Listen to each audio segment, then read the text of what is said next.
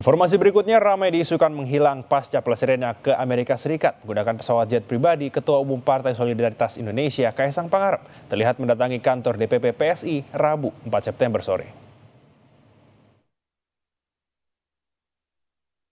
Akhirnya, Kaisang Pangarep muncul setelah diisukan menghilang di saat publik menantikan klarifikasinya atas penggunaan pesawat jet pribadi ke Amerika Serikat.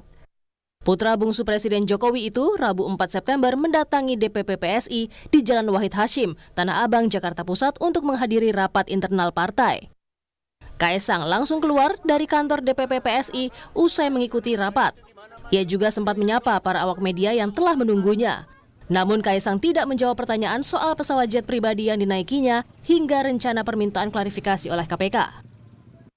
Sementara itu KPK melalui Direktorat Gratifikasi batal mengundang Kaisang Pangarep untuk dimintai klarifikasi terkait dugaan gratifikasi penggunaan pesawat jet pribadi. Saat ini KPK fokus atas dua laporan, yakni dari Koordinator Masyarakat Anti Korupsi Indonesia Boyamin Saiman dan dosen Universitas Jakarta Ubedillah Badrun yang telah diterima Direktorat Pelayanan Laporan dan Pengaduan Masyarakat atau Direktorat PLPM.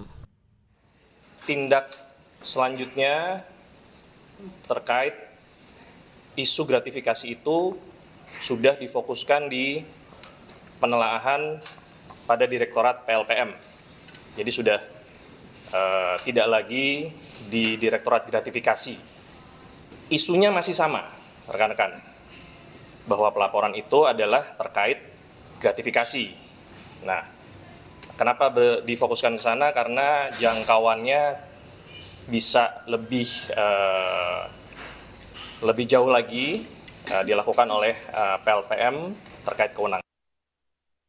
Dugaan penggunaan jet pribadi oleh Kaisang berawal dari unggahan istrinya Erina Gudono di media sosial. Erina mengunggah foto jendela pesawat yang diduga bukan dari pesawat komersial melainkan jet pribadi yang sewanya terbilang sangat mahal.